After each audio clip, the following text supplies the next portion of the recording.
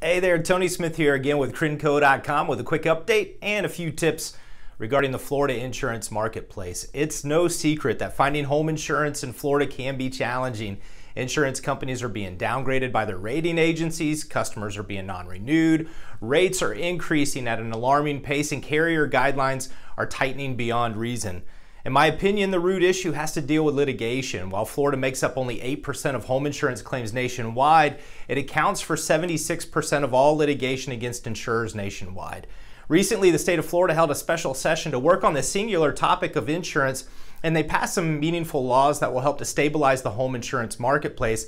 However, in many cases, these legislative changes were too little, too late. In other words, the damage was already done, and now we have this huge hole to climb out of.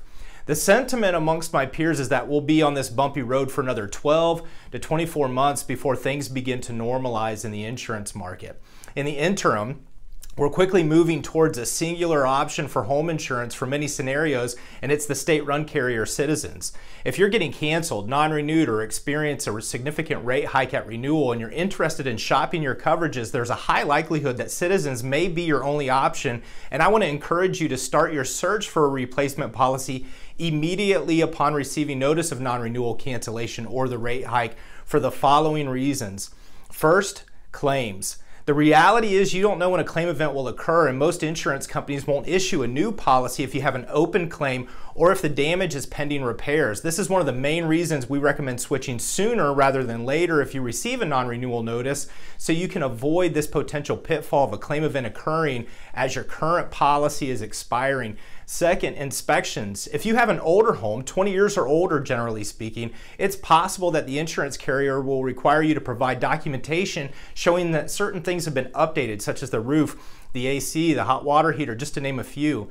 These updates are reflected on a four-point inspection. If your four-point inspection notes issues with the home, it's possible you'll need to remedy these issues before a new insurance company will insure your home. All of these things take time. So if you own an older home, it's super important to begin your insurance search as soon as possible. Lastly, hurricane season. As a hurricane approaches the state of Florida, many insurance companies will restrict binding, and this means that they won't allow a new policy to be issued. If the expiration of your policy falls during hurricane season, you wait until the last minute to find a replacement policy, and it just so happens to be at a time of binding restriction, it's possible that your home could be uninsured during a hurricane. Now, this is a worst case scenario, but it's a likely scenario and it's a completely preventable scenario as well. Want to see what insurance rates look like in your area? Get a quote online at shopitnow.chrinco.com or give me a call at 321 586 3754. Chrinco.com, insurance simplified.